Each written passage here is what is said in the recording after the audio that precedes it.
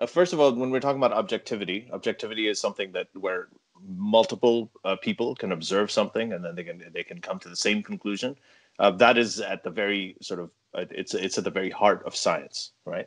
Uh, that's something that we can agree on. Uh, this is obviously the, what you're talking about when you're talking about personal experience. I mean, this is a kind of experience that you have. I'm not saying it's not legitimate. It's legitimate. That's how you feel, but it's not objective. So that, that's one thing that I think we we we all agree on. the second thing is yeah. So the second thing to Armin's point is that uh, these personal experiences that people feel, uh, they are they're not just limited to religion. Um, and you go different. They actually vary geographically. I, I think one of you, Tahir, you're a psychiatrist. Uh, Omer is.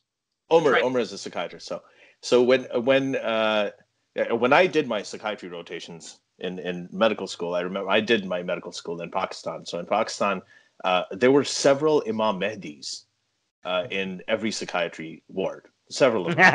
and then no, I, am I'm I'm being completely serious.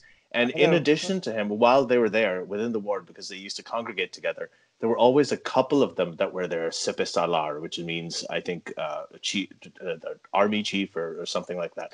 So and they they genuinely believed it these experiences were yeah. real uh, if you know i mean you know about schizophrenia when people have these delusions these delusions actually they feel very real uh, and even the definition of delusion, the very definition of delusion, has a disclaimer in it. It says a, fixed, false belief. Yeah.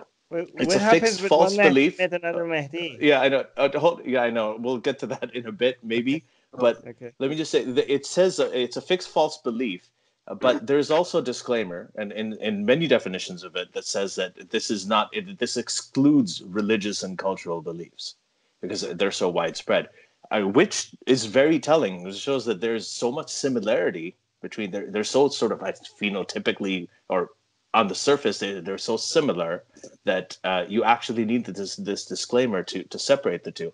So this is the problem with uh, using it, especially in a conversation like this, where you know that you know we obviously come from a different place than you in terms of the way that we think. Uh, to use that as a, as a form of uh, evidence in a way. I, I I don't think you can use personal experience or who you feel is talking to you and who but you're in didn't. communication okay, with. to be fair to them, they didn't. They, no, they, I, okay, they fair, yes. No, no. Let me let me let me let me clarify. To be yeah. fair to them, they said that they never said that their personal experience. He actually said that that his personal experience is not meant to convince us. He said that his personal experiences convinced him and yeah, convince him at an individual level. So as you said that with uh, Mirza Ghulam Ahmad, when he said that you know you as long as the individual hears it, then it goes on. Uh, the, but but there is there is a problem of objectivity. So the question is again going back to has science made religion uh, uh, has science made religion obsolete? Um, uh, one thing I'll say is I think that they can coexist. They clearly do coexist. Science and religion coexist. There's a lot of things that science has not been able to answer. Um, and the one thing, and I'm going to quote Penn Jillette here, that uh, science did, the scientific revolution did, that no other revolution did before it, is it said the three words, I don't know. That's it. Um, uh, nobody in the past, no political system, no other power system, no religion, nobody in the past had said, I don't know. They'd always tried to give answers, right? Yeah.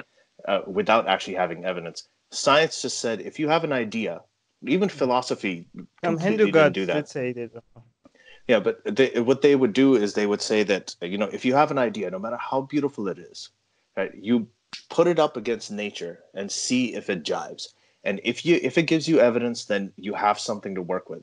If it doesn't work with nature, no matter how amazing the idea is, no matter how strongly you feel it, no matter how individually you're connecting with where the idea is coming from, you know, if it doesn't work with nature, then the answer is not that it's not true. The answer is just that we don't know. And and and that's that's really it. That that is our position. People often think that atheists think, oh, there is definitely no God, the same way that religious people say there's a God. But most atheists, what they say is they don't believe in God. But that doesn't mean that they know for sure that there is no God. That's why most atheists okay, are actually agnostic atheists. But, yeah. Okay, let's. let's so there's, there's a lot in that. So I might kind of go back to some of the things you said earlier. So I think Armin sure. hit the, the, nail on the head that we never said that on an objective level for assessment, you should use personal experiences.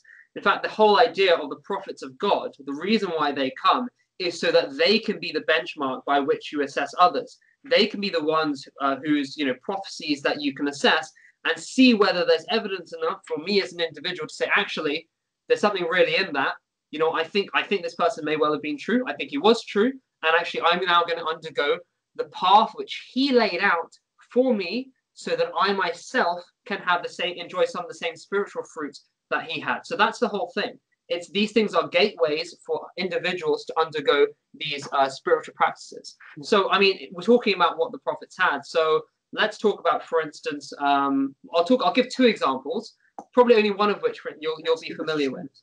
There's one thing, for instance, which is the uh, World War One prophecy of uh, Hazrat Mirza Ghulam Ahmad of Qadian.